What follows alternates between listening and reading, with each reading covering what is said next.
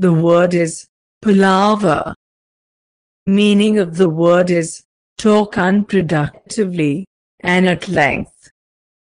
Synonym words are chatter, babble, gossip, flattery. Antonyms are silence, brevity, conciseness.